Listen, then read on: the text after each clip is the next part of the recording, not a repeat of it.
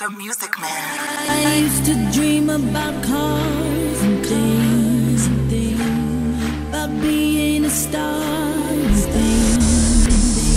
I thought that I would outgrow this feeling. You watching Behind the Bars, Dee Dray. The hustle, the grind, the come up, that's the shit I love. Escaping the struggle, do you know what that really does? For my ego, especially when they said I was. Gonna be nothing but another local joker drug. Dealer, killer, criminal living on the yard. Not a college campus or the one in back your house. But now check him out. Instead of I being locked inside the pod, I'm locked in their iPods. My God, please help them to understand that I'm your child, so I am more than just a man. A mortal stance, couple grands in my jeans. You know I followed the method man to get the cream. Uh-huh. Dollar dollar bills. I'm so effing ill. Everything's a hustle still, but I got the driving wheel. Power. These motor mouth cowards only talking louder. We the topic of discussion, so they talking about us. Dee Dray.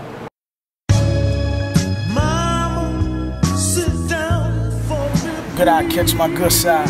It's Dee Dray, by the way.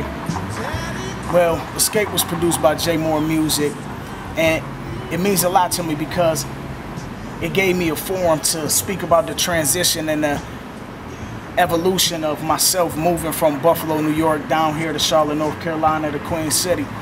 And in the beginning of the record, it actually has Rick James, who's from Buffalo, singing, talking to his mother and father about just having to leave.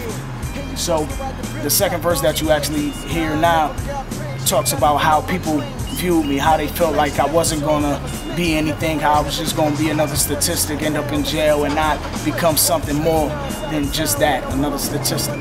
Escape is one of my favorite songs to perform live because it gives the crowd a whole nother element, a whole nother energy because it's so autobiographical.